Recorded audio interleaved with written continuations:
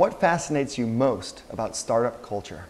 I think that uh, startups are the modern hero's journey. And so you see the evolution of this journey happen in the same way that Joseph Campbell studied all the mythical stories and saw the same pattern repeated over and over again, no matter where you went to the Mahabharata, the Ramayana, whatever it was.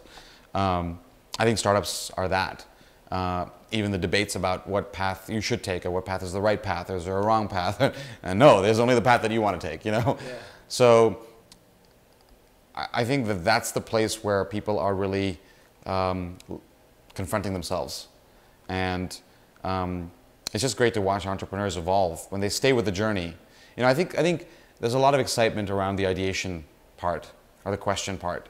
Um, there's not a lot of uh, appeal uh, about the valley of death, you know. But to me, that's like, that's where it's at.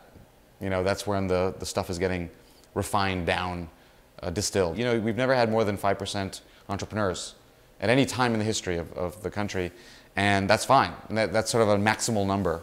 We don't need everyone to be an entrepreneur, but I think there's a lot to be learned um, from entrepreneurs and what they do and how they live and people can take some variant in that and apply that in their own context without having to be a literal entrepreneur. Um, so that's really what's interesting me the most right now is how do I apply what I've learned and, and broaden and generalize the things that we've learned from I've learned from entrepreneurs and bootstrap entrepreneurs specifically to the broader audience.